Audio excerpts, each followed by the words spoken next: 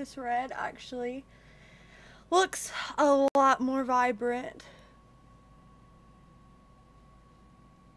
on the screen than it actually is in real life. In real life, it actually matches my skin tone quite well. We're going to see if it actually does last 14 hours. Now, there they go. The demons. They're torturing the dog. The last time I did this, it didn't last. I think it lasted maybe six hours. It came off on everything. We're going to give it the benefit of the doubt. We're going to try it again.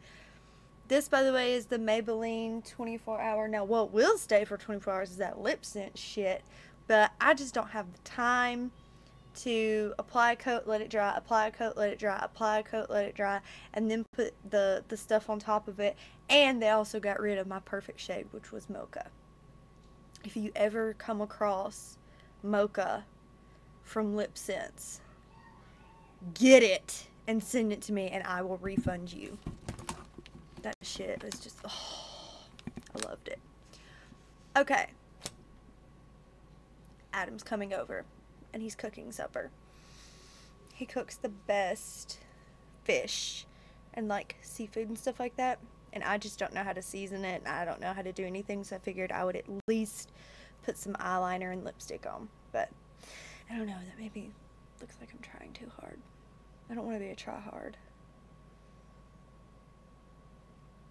Anyways, here is Timewave Zero, and we have lyrics. We has the lyrics. All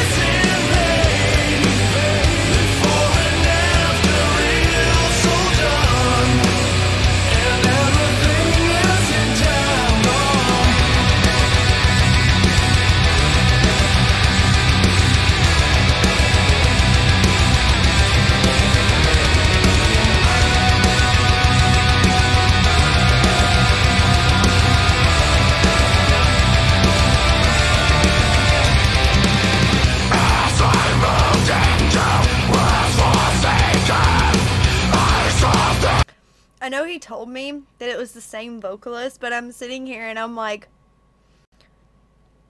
his range and just, I don't know if like cadence is the correct word or not. Someone help me out here, but like, it's just so much dynamic within his voice. Like, it's hard to believe that he can sing like that and then hit those high notes and scream like this too, or growl, or whatever you want to call it.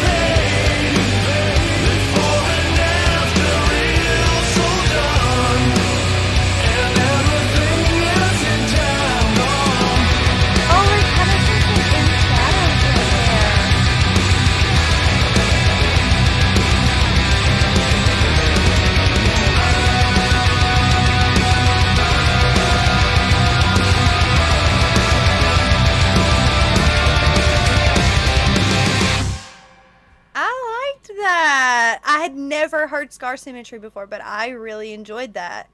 Like I like I paused and said, it's really hard to imagine that one guy can do all three like of those. Like it was amazing. I think I have another scar symmetry.